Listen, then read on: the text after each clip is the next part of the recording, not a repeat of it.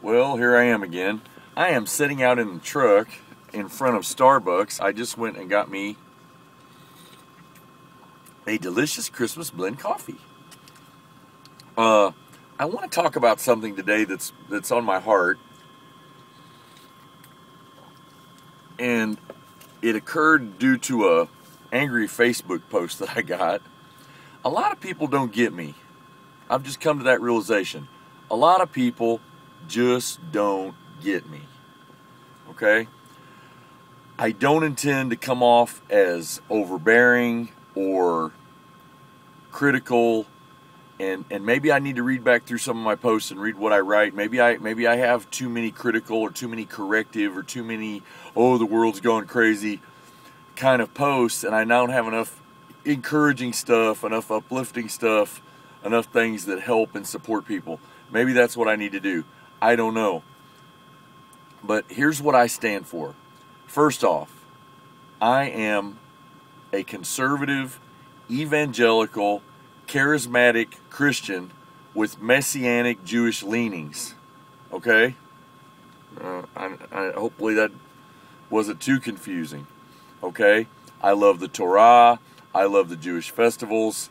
Uh, I love pork a little too much, which is why I haven't completely switched over to the Messianic life uh, and some of that.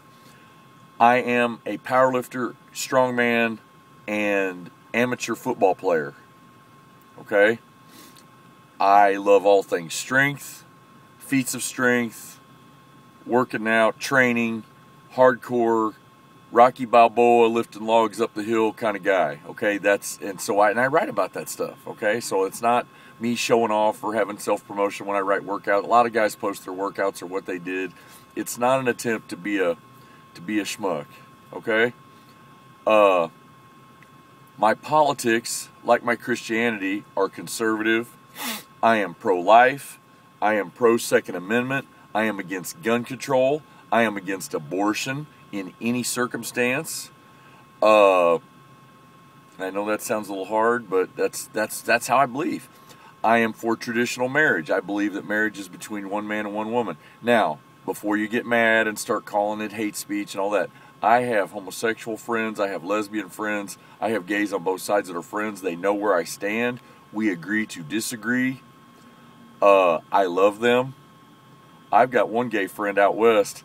Uh, powerlifter friend of mine, that guy would die for me. That guy, he's been more faithful to me than some of my Christian friends have. He's agnostic, he doesn't believe the way I do, but I'll tell you what, man, he is a real friend.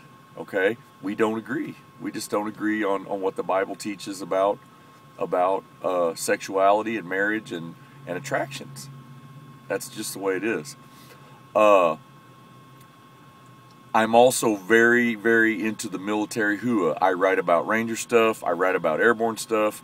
Uh, I have a volunteer uh, paperwork in. I keep volunteer paperwork in with Department of the Army where I can be recalled at any time. I am not just retired. I am what's called retired reserve.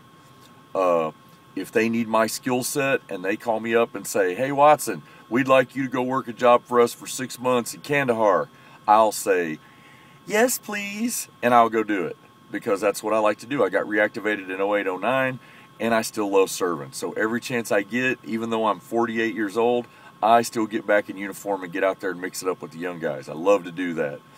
Uh, if they were to call me today and tell me they had a job that required me to get back in the harness and exit a perfectly good high performance airplane with a parachute, I'm there. Okay, all things HUA. Uh,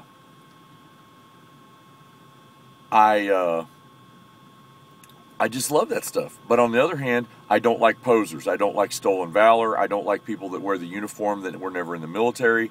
I don't like fraud. I don't like people that run around and pretend to be something they're not. If you weren't a SEAL, don't say you were a SEAL. If you were never a Ranger, don't say you were a Ranger. I was not a Ranger. I love the Ranger Creed and I live by it and I can recite it in 48 seconds but I was merely a regular paratrooper. I was not a ranger.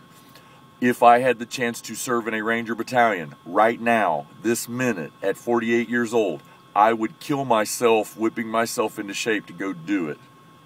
Okay, I love all things Hua that much, so I write about that stuff. I write about sniper stuff.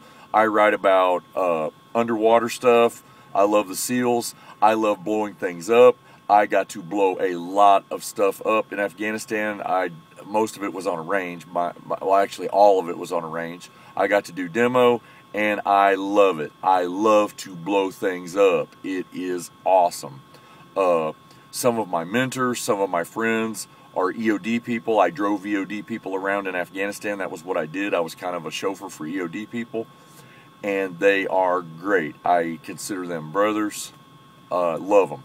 Love my skipper. My boss was a Navy EOD guy who I would lay down in front of a bus for. If he calls and needs my help, I'm going. Okay? So now you understand where I'm coming from. Now I come off maybe as a little overbearing. I make jokes about Duck Dynasty, and I got a few people irritated about that. Now I am addicted to Duck Dynasty. I have been deer hunting, and it is great. I didn't get one this year, but there's a couple more days after Christmas. Hopefully, I'm going to bag one. But I just needed you to understand I'm not a mean guy. I just have really strong beliefs, and sometimes my beliefs are taken the wrong way. So, I love you all. I love the people that read my page. I love the Lord. And and I'm just, you know, that, that that's me. I'm, I'm a simple, I'm a really simple guy. And if you really get to know me, that's what amazes me is some of the people that are the most critical are the people that really should know me really well and don't. So anyway, uh, God bless, and I hope you have a Merry Christmas. I hope you had a Happy Hanukkah, my friends that do that. Uh, don't know much about Kwanzaa. If that's your thing, hey, peace out. Have a good one.